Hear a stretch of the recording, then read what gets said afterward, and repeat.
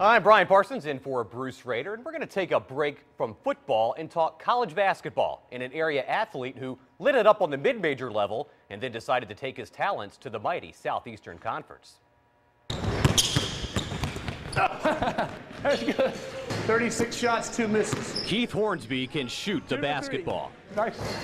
She's got to make all these now. One day before heading off to college at LSU, he was getting in a workout with his father. Five for seven. he, believe it or not, is possibly my best trainer because he knows my game better than anybody else. He knows what I have to work on, and he knows a ton about basketball. And most people don't think that because he's a musician. Grammy winner Bruce Hornsby is a self-professed gym rat, and he knew early on that Keith had something special. He was always pretty gifted with this. He could always do it. From the time he was three years old, he showed a, a incredible sort of natural muscle memory for shooting, even like I say, three or four. Keith Hornsby went to Hampton Roads Academy and then prep school at Oak Hill Academy. He began his college career at UNC Asheville, and during his sophomore season, he averaged 15 points a game and was the second best free throw shooter in college basketball. I had a really good sophomore year, and most of my really big games were against high major schools. So at the end of that year, a few high major schools kind of gave me some quiet interest, and you know I, I was interested back. I'm happy for him. He's worked really hard. I'm so proud of him because he's really been willing to put in the time. A lot of people talk the talk, and he has really walked it, uh, walked the walk.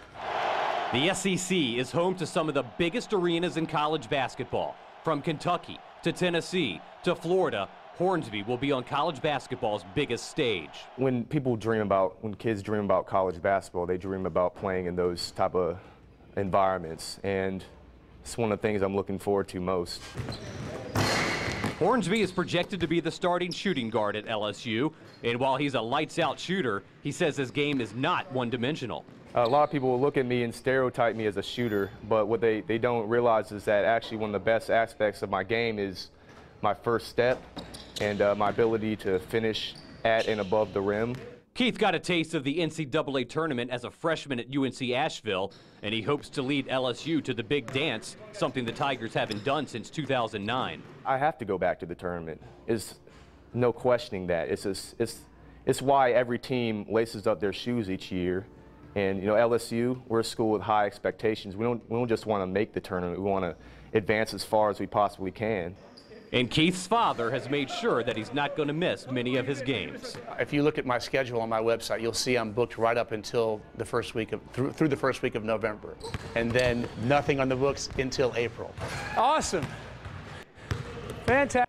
Uh, by the way, Keith's twin brother Russell is on the track team at the University of Oregon, which is one of the top track programs in the country. Bruce, Bruce and his wife Kathy must be extremely proud parents. Back to you guys. Oh yeah, That's He that's has terrific range, doesn't he? He really, really does.